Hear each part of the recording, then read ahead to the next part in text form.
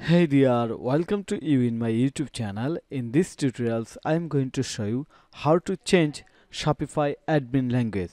This tutorial will be very helpful for Shopify store owner, also freelancer who started learning Shopify and wanted to make money. Because when someone hired you as a Shopify expert to work on her store, but you see that the store admin panel language is not in English.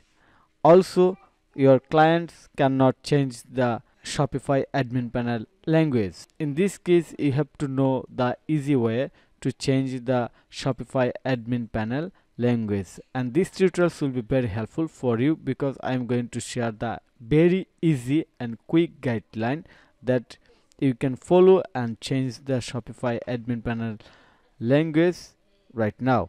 Okay, so let's get started so how you can change the language? So first you have to go to your shopify admin panel. Here is the shopify admin panel. Then click on the settings. And then click on the language.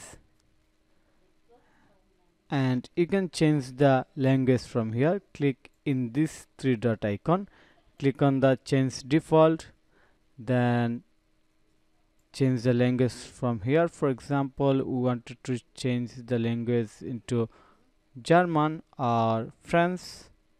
Just select French click on the save.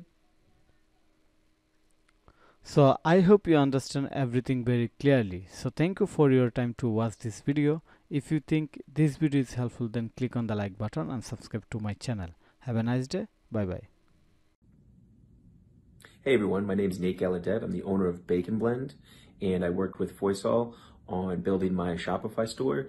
He did excellent, excellent work. I highly recommend you working with Foysal. He will get everything you need done in a timely fashion, and um, he's all about speed, efficiency, and making sure he does everything correctly.